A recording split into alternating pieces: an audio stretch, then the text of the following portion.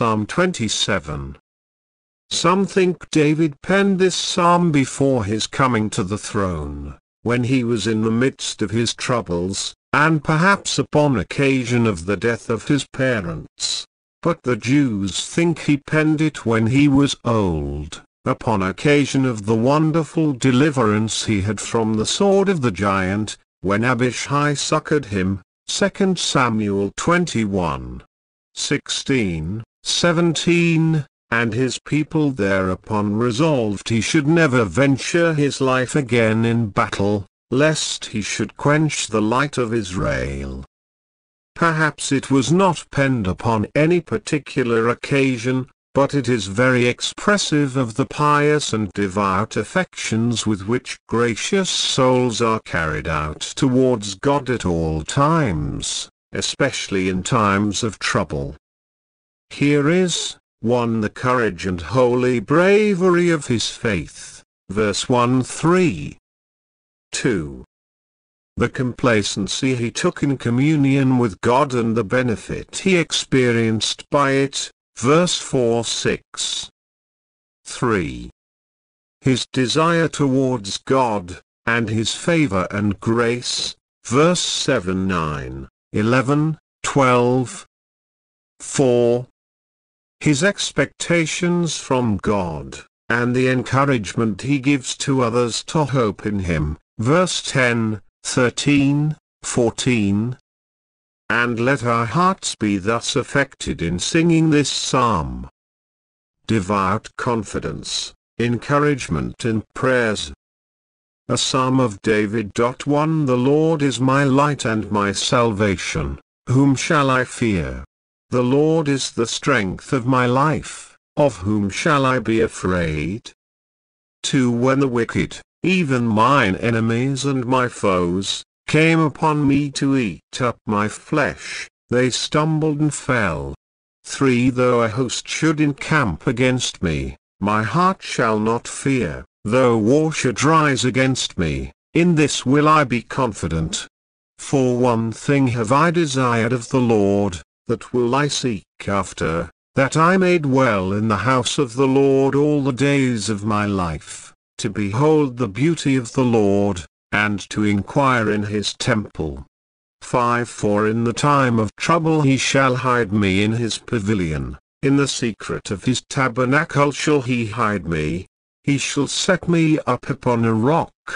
6 And now shall mine head be lifted up above mine enemies round about me, therefore will I offer in his tabernacle sacrifices of joy, I will sing, yea, I will sing praises unto the Lord.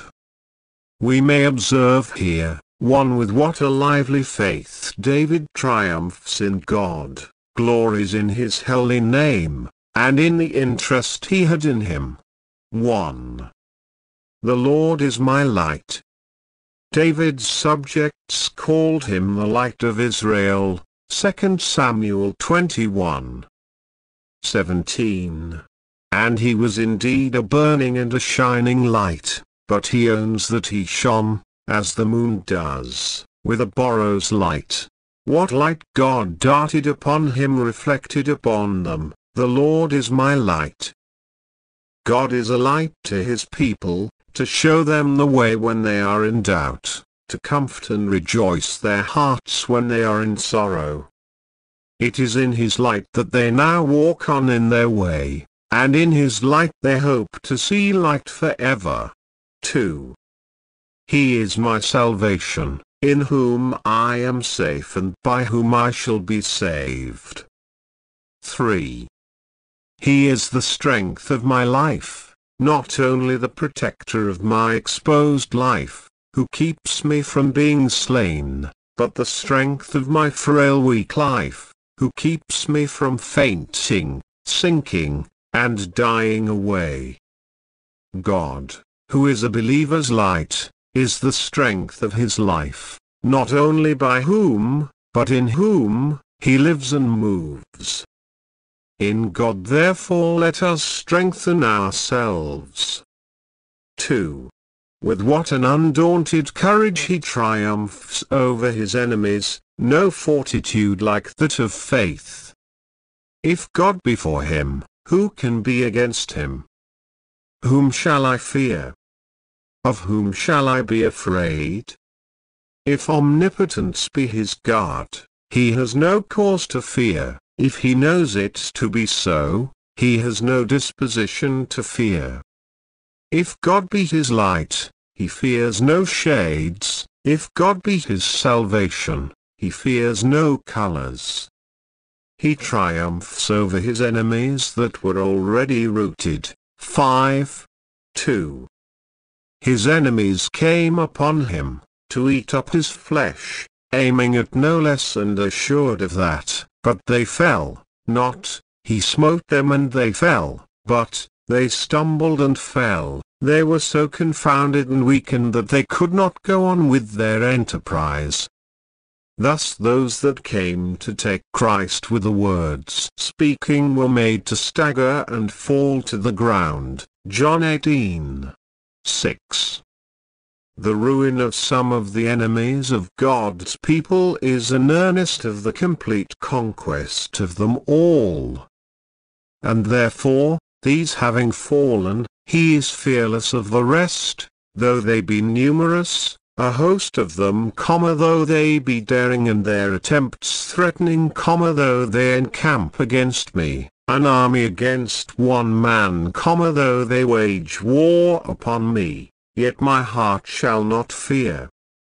Hosts cannot hurt us if the Lord of hosts protect us. Nay, in this assurance that God is for me I will be confident. Two things he will be confident of colon 1. That he shall be safe. If God is my salvation, in the time of trouble he shall hide me, he shall set me out of danger and above the fear of it. God will not only find out a shelter for his people in distress, as he did Jeremiah 36. 26, but he will himself be their hiding place. Psalm 32, 7. His providence will, it may be, keep them safe, at least his grace will make them easy. His name is the strong tower into which by faith they run. Proverbs 18, 10. He shall hide me, not in the strongholds of En-gedi, 1 Samuel 23, 29, but in the secret of his tabernacle. The gracious presence of God, his power, his promise, his readiness to hear prayer, the witness of his Spirit in the hearts of his people, these are the secret of his tabernacle. And in these the saints find cause for that holy security and serenity of mind in which they dwell at ease. This sets them upon a rock which will not sink under them, but on which they find firm footing for their hopes, nay, it sets them up upon a rock on high, where the raging threatening billows of a stormy sea cannot touch them. It is a rock that is higher than we, Psalm 61. 2. 2. That he shall be victorious verse 6. Now shall my head be lifted up above my enemies, not only so as that they cannot reach it with their darts, but so as that I shall be exalted to bear rule over them. David here, by faith in the promise of God, triumphs before the victory, and is as sure, not only of the laurel, but of the crown, as if it were already upon his head. 3. With what a gracious earnestness he prays for a constant communion with God in holy ordinances. 5. 4. It greatly encouraged his confidence in God that he was conscious to himself of an entire affection to God and to his ordinances and that he was in his element when in the way of his duty and in the way of increasing his acquaintance with him. If our hearts can witness for us that we delight in God above any creature, that may encourage us to depend upon him, for it is a sign we are of those whom he protects as his own.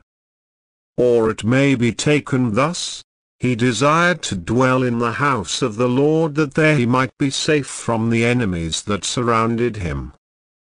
Finding himself surrounded by threatening hosts, he does not say, One thing have I desired, in order to my safety, that I may have my army augmented to such a number, or that I may be master of such a city or such a castle, but that I may dwell in the house of the Lord, and then I am well. Observe, 1. What it is he desires, to dwell in the house of the Lord. In the courts of God's house the priests had their lodgings, and David wished he had been one of them disdainfully as some look upon God's ministers, one of the greatest and best of kings that ever was would gladly have taken his lot, have taken his lodging, among them. Or, rather, he desires that he might duly and constantly attend on the public service of God, with other faithful Israelites, according as the duty of every day required. He longed to see an end of the wars in which he was now engaged, not that he might live at ease in his own palace, but that he might have leisure and liberty for a constant attendance in God's courts. Thus Hezekiah, a genuine son of David, wished for the recovery of his health, not that he might go up to the thrones of judgment, but that he might go up to the house of the Lord. Isaiah 38. 22. Note, all God's children desire to dwell in God's house, where should they dwell else? Not to sojourn there as a wayfaring man, that turns aside to tarry but for a night, nor to dwell there for a time only, as the servant that abides not in the house for ever, but to dwell there all the days of their life, for the, the Son abides ever. Do we hope that praising God will be the blessedness of our eternity? Surely then we ought to make it the business of our time. 2. How earnestly he covets this, this is the one thing I have desired of the Lord and which I will seek after. If he were to ask but one thing of God, this should be it, for this he had at heart more than anything. He desired it as a good thing. He desired it of the Lord as his gift and a token of his favor. And, having fixed his desire upon this as the one thing needful, he sought after it, he continued to pray for it, and contrived his affairs so as that he might have this liberty and opportunity. Note, those that truly desire communion with God will set themselves with all diligence to seek after it. Proverbs 18. 1. 3. What he had in his eye in it. He would dwell in God's house, not for the plenty of good entertainment that was there, in the feasts upon the sacrifices, nor for the music and good singing that were there, but to behold the beauty of the Lord and to inquire in his temple. He desired to attend in God's courts, 1. That he might have the pleasure of meditating upon God. He knew something of the beauty of the Lord, the infinite and transcendent amiableness of the divine being and perfections. His holiness is his beauty. Psalm 110. 3. His goodness is his beauty. Zechariah 9. 17. The harmony of all his attributes is the beauty of his nature. With an eye of faith and holy love we with pleasure behold this beauty, and observe more and more in it that is amiable, that is admirable. When with fixedness of thought, and a holy flame of devout affections, we contemplate God's glorious excellencies, and entertain ourselves with the tokens of His peculiar favor to us, This is that view of the beauty of the Lord which David here covets, and it is to be had in his ordinances. Further he manifests himself. 2. That he might have the satisfaction of being instructed in his duty, for concerning this he would inquire in God's temple. Lord, what wilt thou have me to do? For the sake of these two things he desired that one thing, to dwell in the house of the Lord all the days of his life, for blessed are those that do so, they will be still praising him. Psalm 84. 4. Both in speaking to him and in hearing from him. Mary's sitting at Christ's feet to hear his word. Christ calls the one thing needful, and the good part. 4. What advantage he promised himself by it. Could he but have a place in God's house, 1. There he should be quiet and easy, the troubles would not find him, for he should be hid in secret, the troubles would not reach him, for he should be set on high. 5. 5. Joash, one of David's seed, was hidden in the house of the Lord six years, and there not only preserved from the sword, but reserved to the crown. 2 Kings 11. 3. The temple was thought a safe place for Nehemiah to abscond in, Nehemiah 6. 10. The safety of believers however is not in the walls of the temple, but in the God of the temple and their comfort in communion with him. 2. There he should be pleasant and cheerful, there he would offer sacrifices of joy. 5. 6 for God's work is its own wages. That he would sing, yea, he would sing praises to the Lord. Note, whatever is the matter of our joy ought to be the matter of our praise, and, when we attend upon God in holy ordinances, we ought to be much in joy and praise. It is for the glory of our God that we should sing in his ways, and, Whenever God lifts us up above our enemies, we ought to exalt him in our praises. Thanks be to God, who always causeth us to triumph. 2 Corinthians 2. 14. Confidence in divine goodness. 7 Hear, O Lord, when I cry with my voice, have mercy also upon me, and answer me. 8 When thou saidst, Seek ye my face, my heart said unto thee, Thy face, Lord, will I seek. 9 Hide not thy face far from me, put not thy servant away in anger, thou hast been my help, leave me not, neither forsake me, O God of my salvation. 10 When my father and my mother forsake me, then the Lord will take me up. 11 Teach me thy way, O Lord, and lead me in a plain path, because of mine enemies. 12 Deliver me not over unto the will of mine enemies, for false witnesses are risen up against me, and such as breathe out cruelty. 13 I had fainted, unless I had believed to see the goodness of the Lord in the land of the living. 14 Wait on the Lord, be of good courage, and he shall strengthen thine heart. Wait, I say, on the Lord. David in these verses expresses, 1. His desire towards God, in many petitions. If he cannot now go up to the house of the Lord, yet, wherever he is, he can find a way to the throne of grace by prayer, 1. He humbly bespeaks, because he firmly believes he shall have, a gracious audience. Hear, O Lord, when I cry, not only with my heart, but, as one in earnest, with my voice too. He bespeaks also an answer of peace, which he expects, not from his own merit, but God's goodness, have mercy upon me, and answer me. 5. 7. If we pray and believe, God will graciously hear and answer. 2.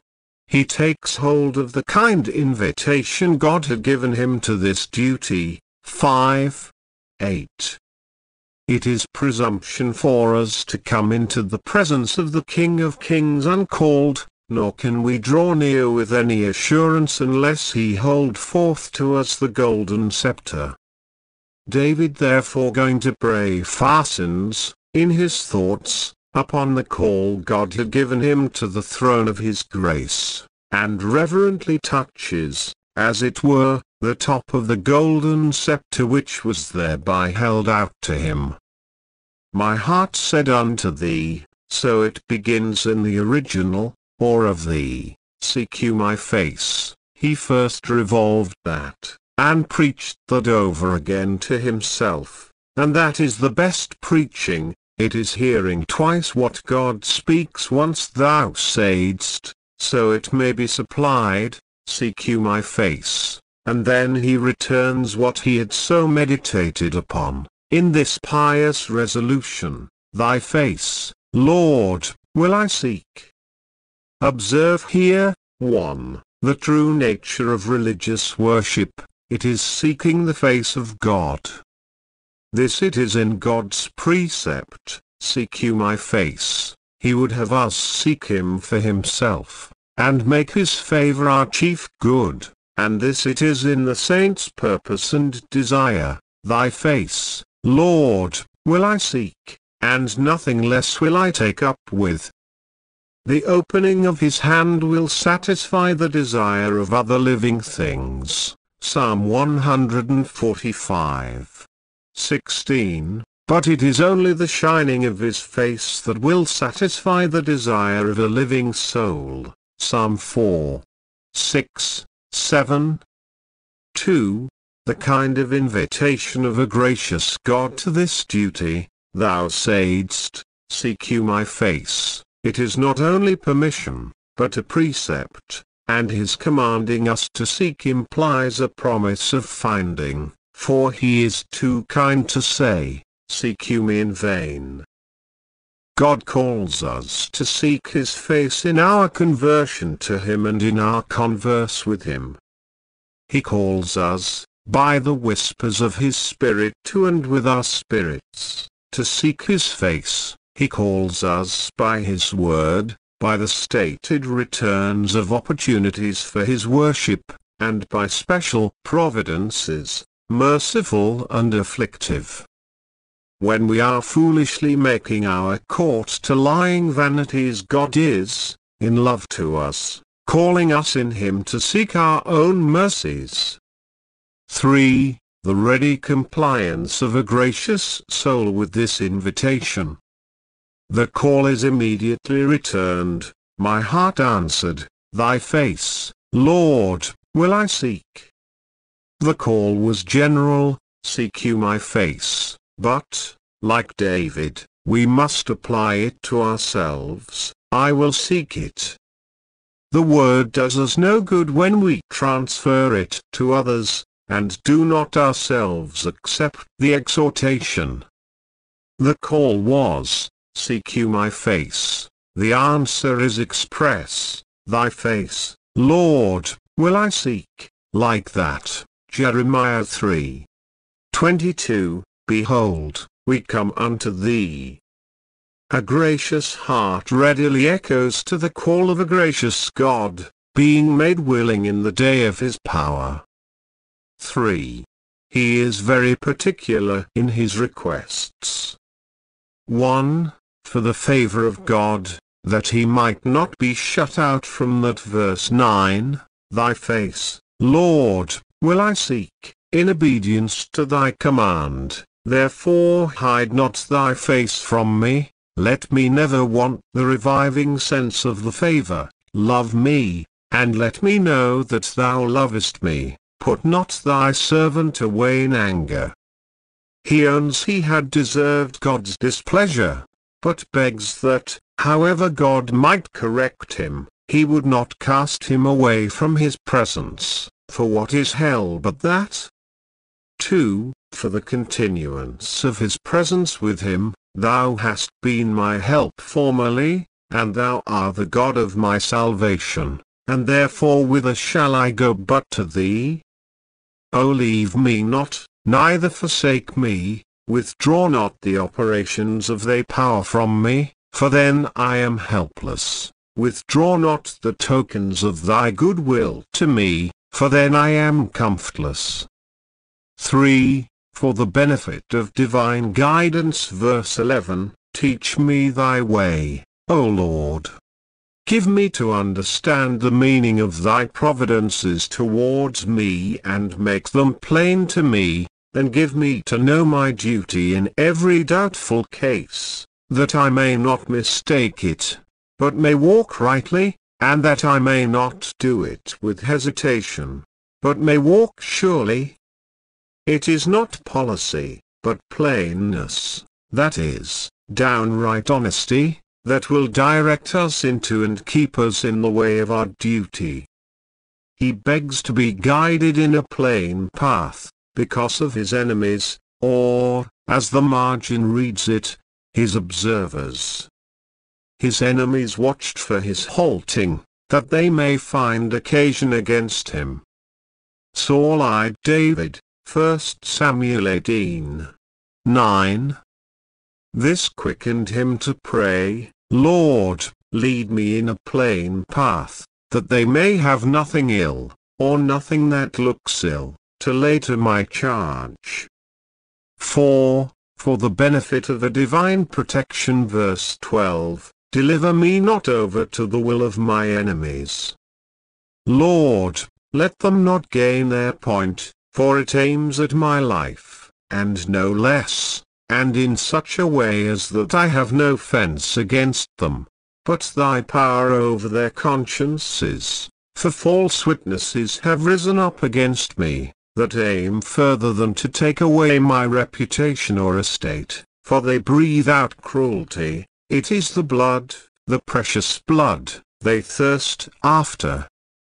Herein David was a type of Christ, for false witnesses rose up against him, and such as breathed out cruelty, but though he was delivered into their wicked hands, he was not delivered over to their will, for they could not prevent his exaltation. 2. He expresses his dependence upon God. 1. That he would help and succor him when all other helps and succors failed him. Verse 10, When my father and my mother forsake me, the nearest and dearest friends I have in the world, from whom I may expect most relief and with most reason, when they die, or are at a distance from me, or are disabled to help me in time of need, or are unkind to me or unmindful of me, and will not help me, when I am as helpless as ever poor often was that was left fatherless and motherless, then I know the Lord will take me up, as a wandering sheep is taken up, and saved from perishing. His time to help those that trust in him is when all other helpers fail, when it is most for his honor and their comfort. With him the fatherless find mercy. This promise has often been fulfilled in the letter of it. Forsaken orphans have been taken under the special care of the divine providence, which has raised up relief and friends for them in a way that one would not have expected. God is a surer and better friend than our earthly parents are or can be. 2 that in due time he should see the displays of his goodness. 5. 13. He believed he should see the goodness of the Lord in the land of the living, and, if he had not done so, he would have fainted under his afflictions. Even the best saints are subject to faint when their troubles become grievous and tedious, their spirits are overwhelmed, and their flesh and heart fail. But then faith is a sovereign cordial, it keeps them from desponding under their burden and from despairing of relief, keeps them hoping, and praying, and waiting, and keeps up in them good thoughts of God, and the comfortable enjoyment of themselves. But what was it the belief of which kept David from fainting question mark that he should see the goodness of the Lord, which now seemed at a distance? Those that walk by faith in the goodness of the Lord shall in due time walk in the sight of that goodness. This he hopes to see in the land of the living, that is, 1. In this world, that he should outlive his troubles and not perish under them. It is his comfort, not so much that he shall see the land of the living as that he shall see the goodness of God in it, for that is the comfort of all creature comforts to a gracious soul. 2. In the land of Canaan, and in Jerusalem where the lively oracles were. In comparison with the heathen, that were dead in sin, the land of Israel might fitly be called the land of the living, the God was known, and there David hoped to see his goodness. See 2 Samuel 15. 25, 26, or 3, in heaven. It is that alone that may truly be called the land of the living, where there is no more death. This earth is the land of the dying. There is nothing like the believing hope of eternal life, the foresights of that glory, and foretastes of those pleasures to keep us from fainting under all the calamities of this present time. 3. That in the meantime he should be strengthened to bear up under his burdens verse 14, whether he says it to himself, or to his friends, it comes all to one, this is that which encourages him, he shall strengthen thy heart, shall sustain thy spirit, and then the Spirit shall sustain the infirmity. In that strength, 1. Keep close to God and to your duty. Wait on the Lord by faith, and prayer, and a humble resignation to His will. Wait, I say, on the Lord, whatever you do, grow not remiss in your attendance upon God. 2. Keep up your spirits in the midst of the greatest dangers and difficulties, be of good courage, let your hearts be fixed, trusting in God, and your minds stayed upon Him, and then let none of these things move you. Those that wait upon the Lord have reason to be of good courage.